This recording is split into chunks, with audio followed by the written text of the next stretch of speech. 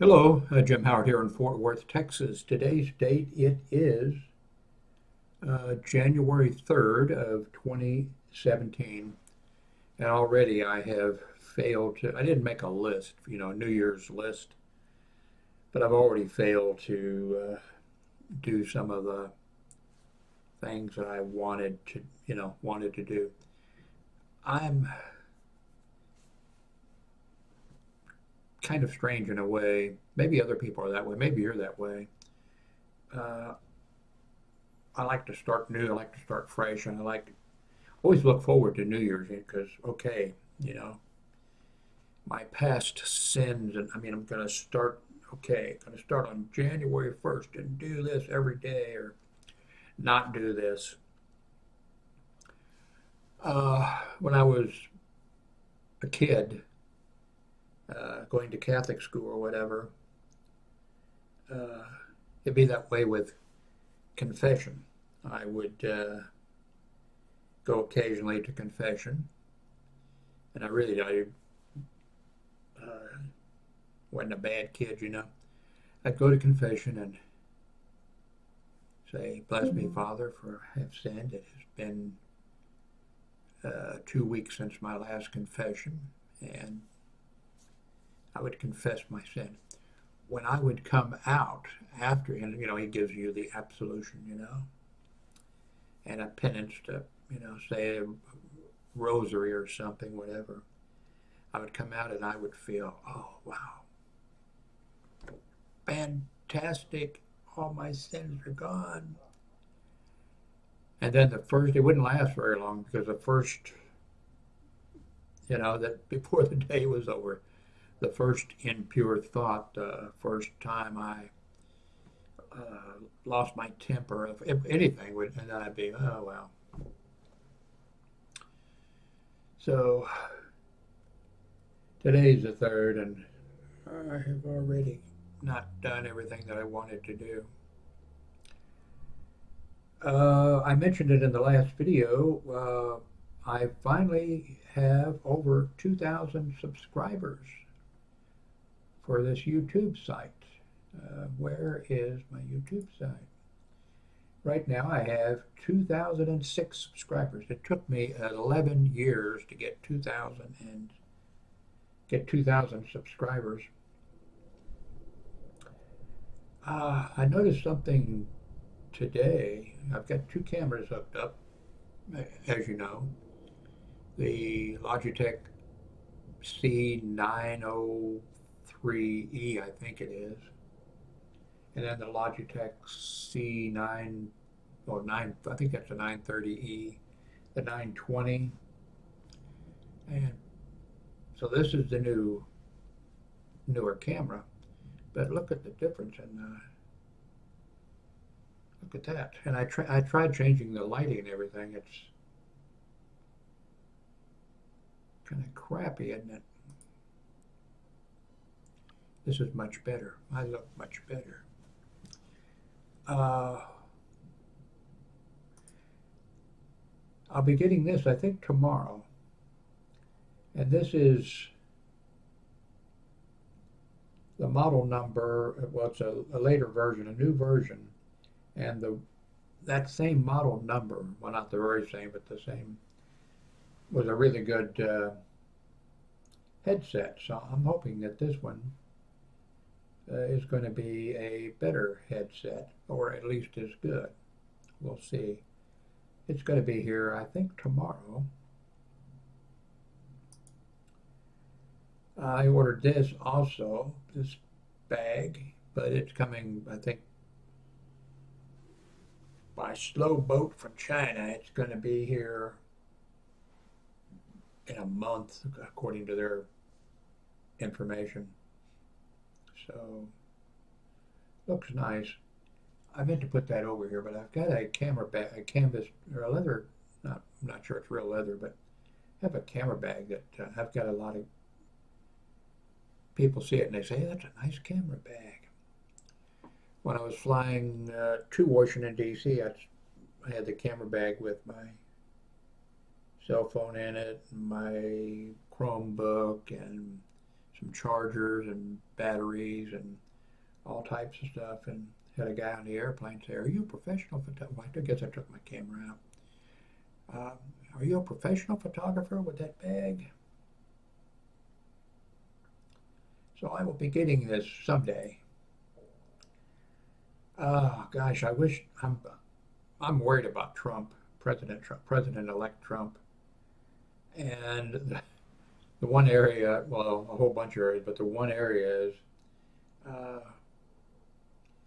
his tweeting and like he's tweeting, I guess, at North Korea, at the North Korea leader, and I think that guy is, I'm talking about the leader of North Korea, is mentally, you know, I think the entire country is mental. And don't provoke, you know, don't unnecessarily provoke people. I just happened to be watching Ronald Reagan's speech when he made the uh, speech and said, uh, axis of evil, and he named the three countries, and I thought that is really stupid. Don't name them. And I was thinking, well, if I were if I were them, I would get together with each other and make a you know, make a deal, you know. Just no reason to do it, and uh, I think a lot of people after that agreed that was not a smart thing for him to do. Uh,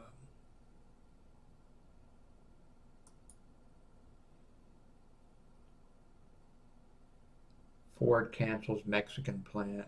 Uh, CEO says creating 700 U.S. jobs is a confidence vote for Trump.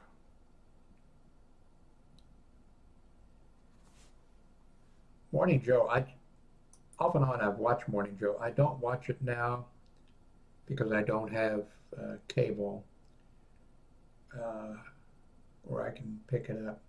I don't like Joe Scarborough. Welcome back to the special edition of. Uh, but it's been kind of interesting when I could watch it to watch just the first few minutes to see what his what his agenda was, see what he thought about certain thing, you know, certain things or whatever. But uh, his connection and his this whole Trump thing and um, and then, too, what I really get tired of is he was a Florida congressman for a short period of time. And uh, he never fails to bring, you know, to bring that up.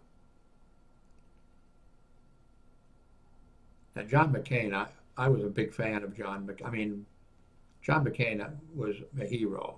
I, thought he was a hero, still do and I, I liked the stands that he took and things like that. And until he ran for president, and then when he picked Sarah Palin, I lost respect for him because, you know, he was, of course, according to that movie they made, not McCain made, but it was made, it was. Uh,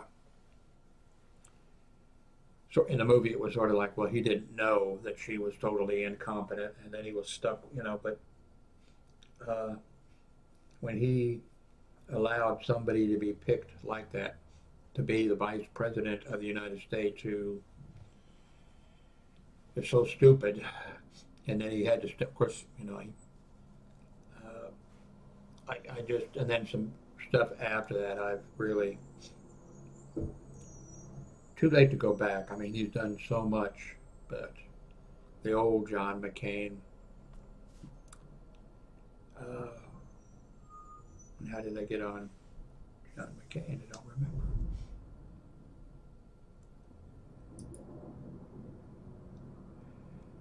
I've decided that in this video that I'm going to try to do every day, I don't know if I can or not, I'm gonna, I need to make some little video, short little video clips to move into another subject. I think one thing I'm gonna do is recommend a movie to you. Sort of like a movie of the day that I recommend or movie of the week, depending on how often I make these videos. Uh, Now, it won't be any new, brand new movies just released because I'm I can't remember. It's been I can't remember when I went to a movie theater and watched a movie.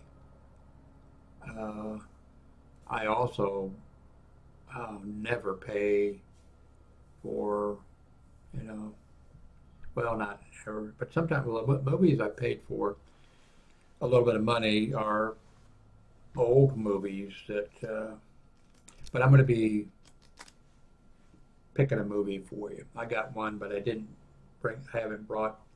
I'm not going to do it this time because I, I want to be able to show you a little bit of information. I'm not going to show you the movie or even. I might play a little bit of of uh, the you know release thing to get you. Probably not even that, but I'm not going to do it this time. Um,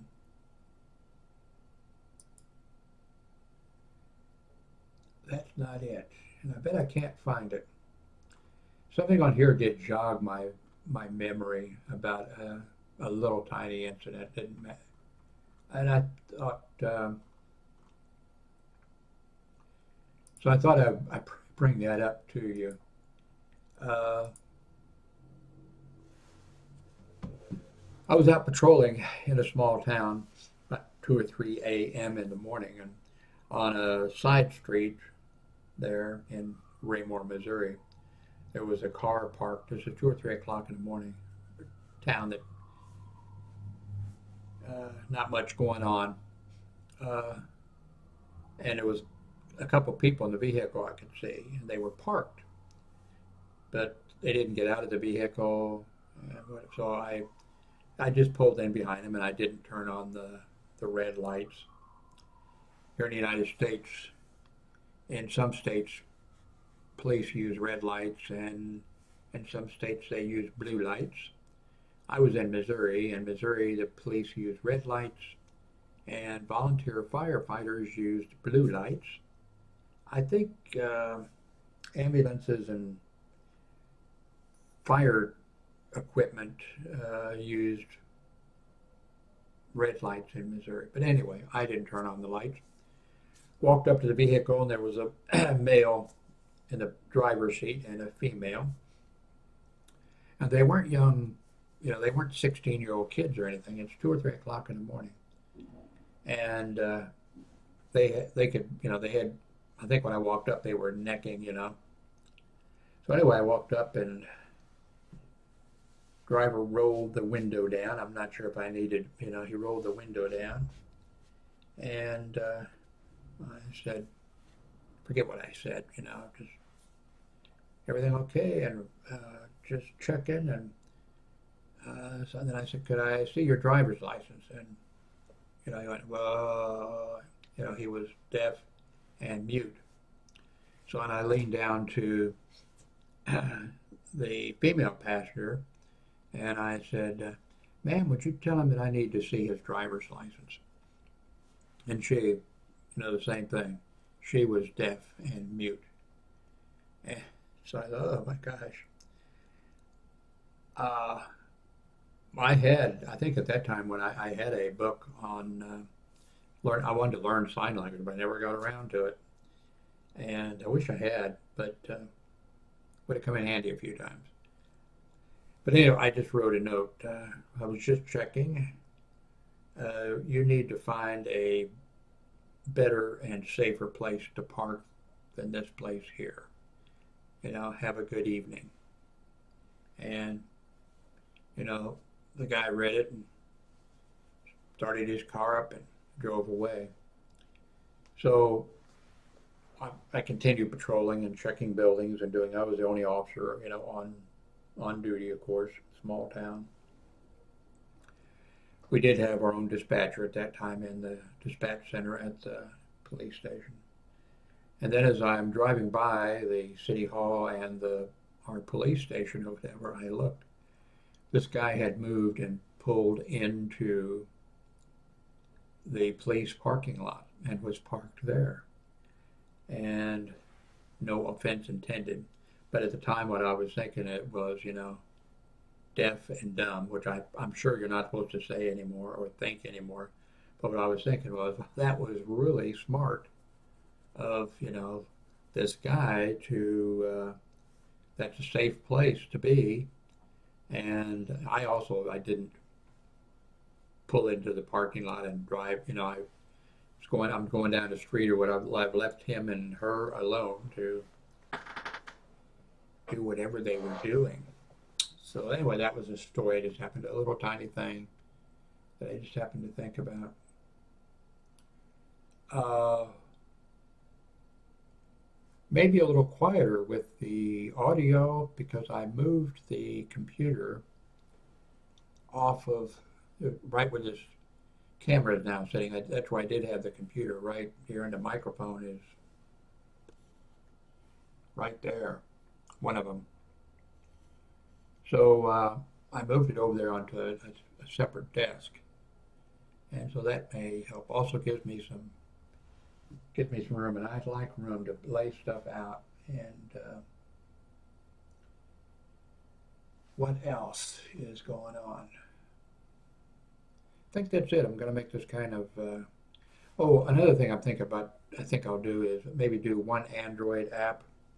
So do a movie, a recommended movie, and then do and show you an Android app that. Uh, and I've got a bunch on here that I like, and I just put the one on that a lot of people were recommending. It's the Google Photo Scan. And what it lets you do is uh, take photos, not take photos, but you have photos. Like this is my mother's uh, high, uh, grade school graduation. She's the one right here with my finger there. With almost tell that she has red hair. And this was in uh, 1932. She was very poor. They were very poor, but everybody else was too. But this lets you uh,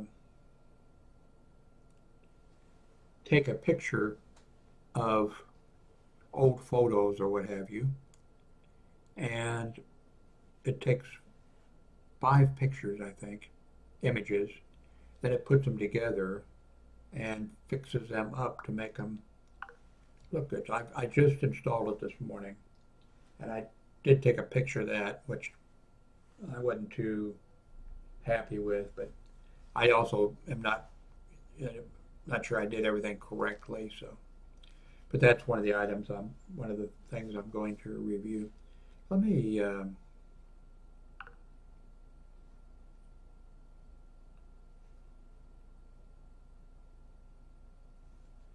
Here's one of my, see how that shows up. There we go. One of my screens. I've got like five screens. Uh, the Prime Now, that's for ordering, you know, the Amazon food in.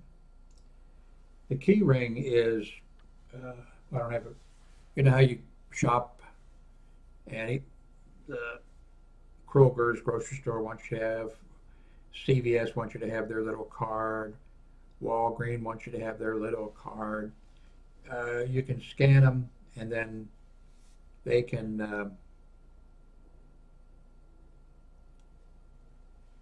So I actually have like, I go to Walgreens all the time, so I have that on, card on my, but then you could just hit it and uh, they could scan it off of that instead of, so you don't have to have all those cards with you.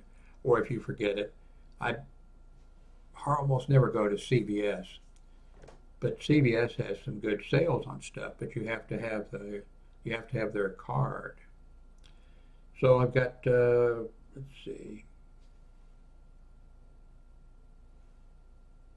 got my uh,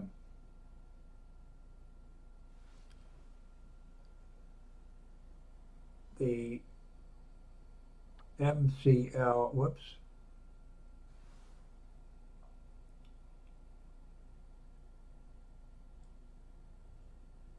Okay, it's not not as good. So have the uh, heart monitor thing now. I do that using the uh, cell phone connection for every three months or whatever. I've got a pedometer. That sounds like something that, that's where I track little kids. Now that's for walking. So maybe it's pedometer, pedometer. I don't know. Whatever it is, I need to be careful. Got my blood pressure thing, or now, or my uh, blood sugar thing. I can enter the data in there. I have Uber and Lyft on here, of course, and Uber Eats. Uh, they just started that here for Fort Worth, Dallas area, I guess.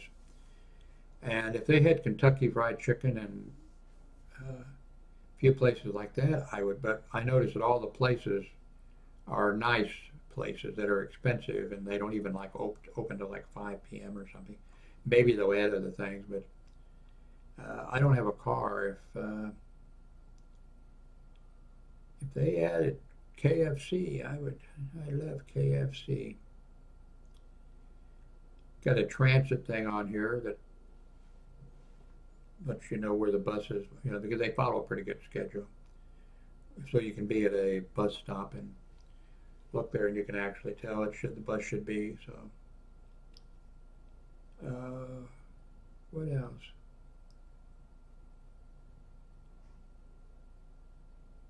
Got a bunch of weather stuff on here. Dark sky. A few of these I paid a little bit for. You know, maybe a dollar fifty or a dollar ninety nine. Dark sky is pretty good. It, it'll let you know when uh, when it's going to rain. Look, and the you know the temperature and stuff like that. So anyway, I, oh, if you have recommendations on Android apps, let me know. So it is 11 a.m. I've taken my morning medication. My son sees a, my grown son sees a new doctor today who is right across the street. He's been going once a month, uh, quite a ways, and to a place that's really busy with a lot of strange people wandering around and whatever. Now this place is right across the street. No by appointment, no extra people and everything. So he's going to be doing that at 12:30. So